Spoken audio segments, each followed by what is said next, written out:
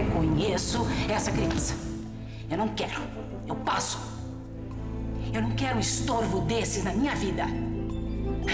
Uma criança que não tem condições de fazer nada sozinha, que vai depender de mim pra tudo. Olha, doutora Helena, eu não tenho dinheiro. Eu não tenho paciência. Eu não tenho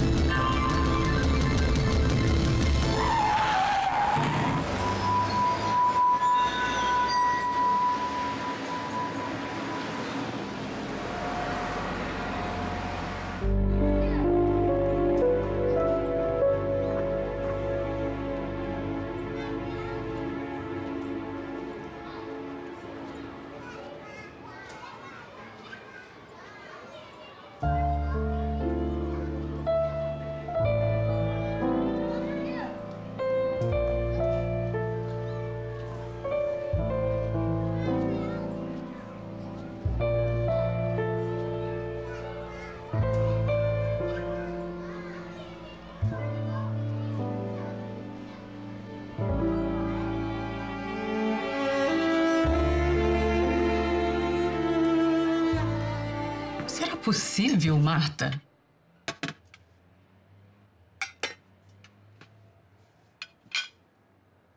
Só pode ser. A menina tem a mesma idade do Francisco. É mongoloide. Se chama Clara.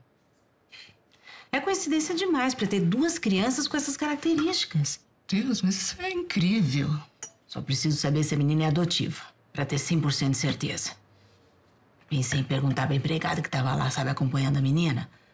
Depois eu pensei, não, melhor não, porque não vou levantar qualquer suspeita, entendeu? Lógico, claro que não. Melhor não facilitar. Se é mesmo a menina que estava no parquinho, ela deve morar aqui por perto, no Leblon. Você já pensou se o Alex desconfia? Deus me livre. Mas ele não vai desconfiar. Porque ele não sabe que a menina tinha problema. Ele pensa que ela morreu porque ela era mirradinha, entendeu? E se o pai desconfiar? Tô correndo todos os riscos sempre. Porque o Francisco é colega dessa menina. Por que que você não pergunta no colégio? Eles têm toda essa informação. Pergunta quem é a mãe da menina. Verônica, o colégio tá fechado. Tá de férias, né?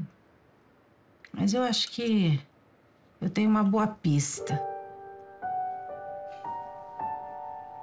Deixa comigo.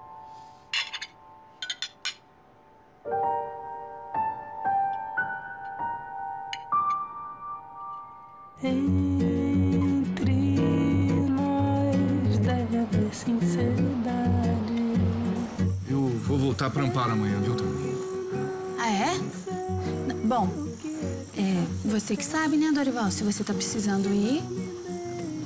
Eu, eu vim pro Natal e agora, eu sei lá, eu, eu. Eu acho que eu já tô atrapalhando, né? Você. Já teve até que sair do seu quarto pra ir dormir com a sua mãe? Digo que você tá atrapalhando, Dorival, aqui. Mas que eu sinto falta do meu beliche, eu sinto. Então, é. Acho que é melhor ir embora mesmo.